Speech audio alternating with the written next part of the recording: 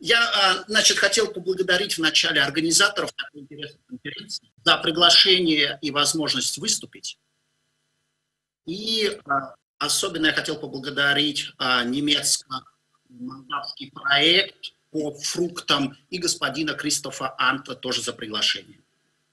Значит, сегодня я хотел поделиться с участниками конференции, которых я слышал уже более 300 участников – по развитию органического рынка в Российской Федерации всего и возможностей импорта органической продукции, фруктов, в частности яблок, из Молдавии. То есть а, я являюсь а, руководителем компании «Агросовет», которая занимается консультацией российских производителей, переработчиков и экспортеров органической продукции. Меня слышно? Алло? Отлично, отлично вас слышно. Хорошо, хорошо, потому что пропал румынский язык, и я немножко растерялся. Так, значит, несколько слов об органическом международном рынке. То есть в прошлом году, в 2019 году, рынок органической продукции оценивался более в 100 миллиардов долларов США. Рынок, а, по прогнозам, продолжит свой рост в ближайшие года со скоростью 10-12% в год. Это особенно в наше непростое время, когда присутствуют вирусные заболевания, и население крупных мегаполисов начинает интенсивно задумываться о своем здоровом питании. И по, а, по прогнозам а, Международного института развития органического земледелия к 2025 году объем рынка органических продуктов может составить от 3 до 5 процентов от мирового рынка сельскохозяйственной продукции. То есть, как вы видите, 5% это, конечно, ниша, но спрос растет на органические сертифицированные продукты. А здесь в своем докладе я имею органические продукты, это которые сертифицированы по различным международным системам, ну, в частности, например, это европейская органика, система или же американская система Министерства сельского хозяйства и продовольствия USDA. Теперь к органическому рынку в России. Значит, органический рынок продукции в Российской Федерации в 2019 году, в прошлом году, составил порядка 14 миллиардов рублей. Это немного, это всего пока 219 миллионов долларов США. Но 20% органической продукции, которая представлена на российском рынке, это уже отечественная сертифицированная продукция. 80% это импорт. Большей частью, конечно, из Европы, или из других стран а, европейского сообщества. Очень много продукции а, въезжает а, в Россию именно из Германии или из Австрии. На сегодняшний момент доля органической продукции Российской Федерации в мировом рынке органики составляет пока только 1%. Но тенденция растет. Законодательство в Российской Федерации, что касается рынка органики. А, в 2018 году Владимир Владимирович Путин подписал закон. Он вступил в силу с 1 января 2020 года, уже действует. Уже существует в базе Министерства сельского хозяйства и продовольствия Российской Федерации единый государственный реестр производителей органики. Уже зарегистрирован из, а, а, зарегистрирован товарный знак «Органик», который а, подлежит государственному регулированию рынок, рынок, рынок органики. А, большая часть продукции, которая производится в Российской Федерации, уже маркируется этим знаком.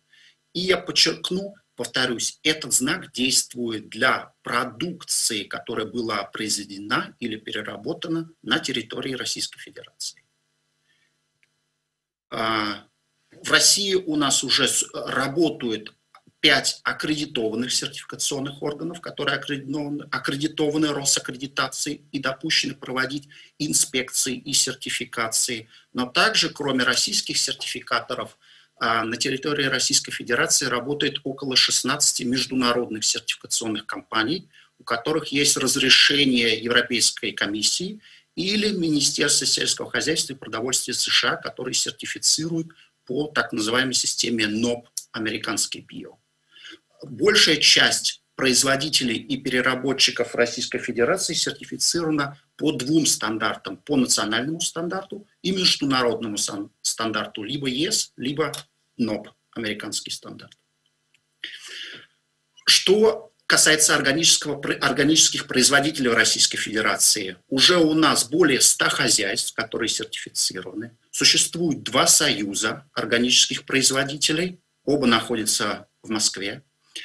Под органическое сельское хозяйство, по данным Швейцарского института э, развития органического земледелия, задействовано более 600 тысяч гектаров сельхозугодий и порядка более 130 тысяч так называемые органические дикоросы. Дикоросы – это сертифицированные участки, большей частью лес, в котором занимаются собиранием ягод, грибов или же кедровых орехов, которые также пользуются большим спросом на территории Российской Федерации, так и за рубежом.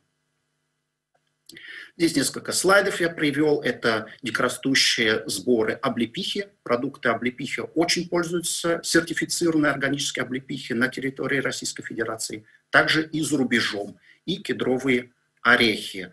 На полках российских супермаркетов большую, большая часть, конечно, органики реализуется в России на полках таких крупных сетей, а, как «Глобус», как «Ашан», как «Вкусвилл» или «Азбука вкуса». Российская продукция присутствует, но большей частью сертифицированная продукция, но большей частью это а, продукты либо молочной отрасли, либо крупы зерновые, либо чаи.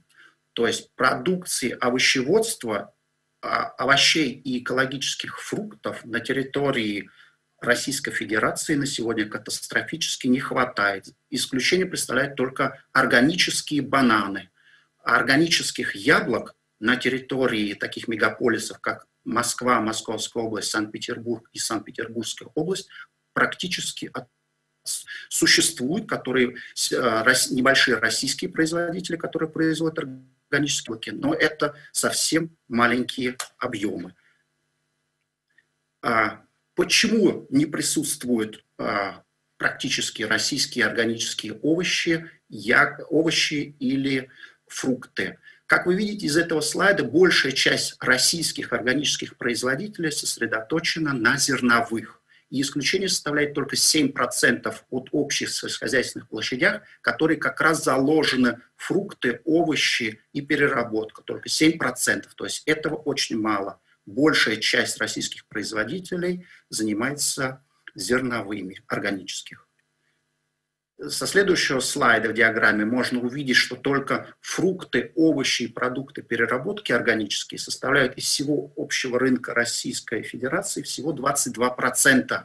Но сюда в эти 2% входят не только фрукты и овощи, но и напитки. Большей частью это органическая водка, которая в России очень э, большими большим спросом пользуются и за рубежом производство органической водки.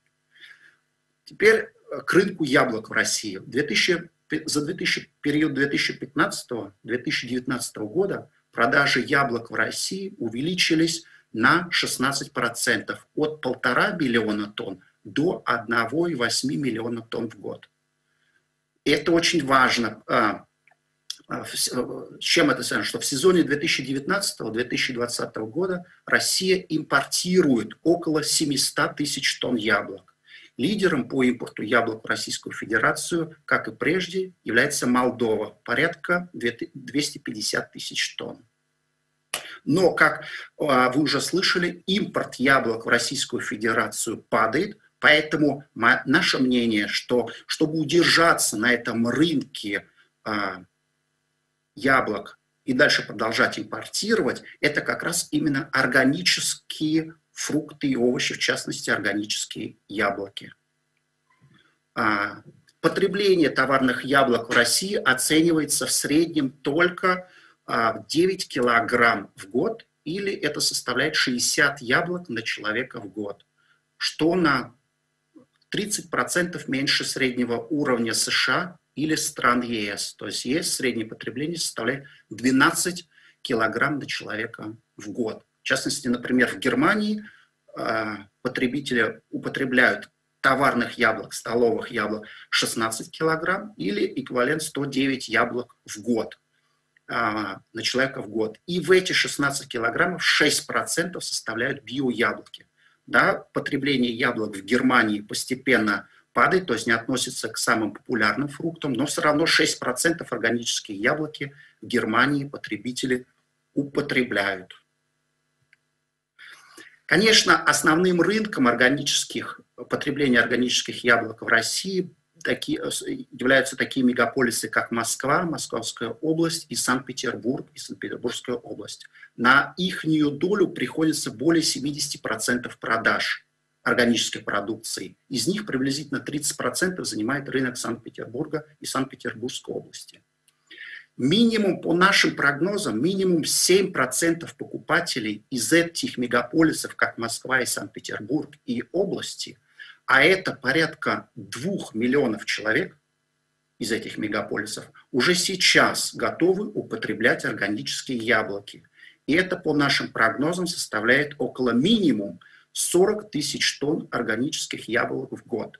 То есть, да, это ниша, но это будет расти. Почему? Потому что в Москве достаточно э, среднего класса, уже который начинает задумываться о своем здоровом питании и который готов платить большие средства за органические продукты, в частности, яблоки.